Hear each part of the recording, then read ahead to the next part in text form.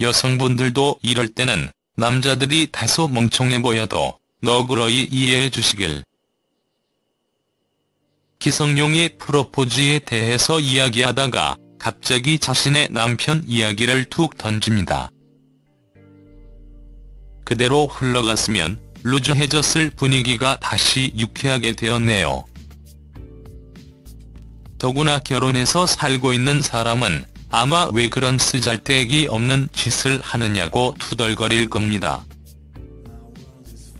세족식을 받는 한혜진의 얼굴에서 행복이 그대로 묻어나는 것 같네요.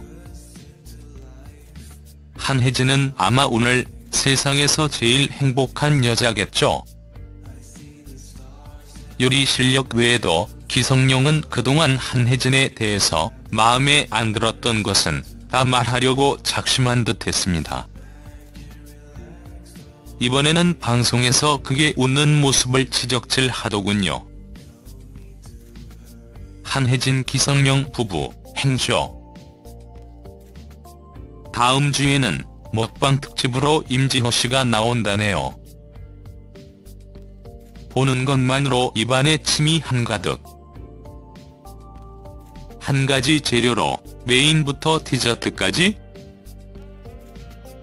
도대체 어떻게 하는 건가 하는 생각은 잠깐.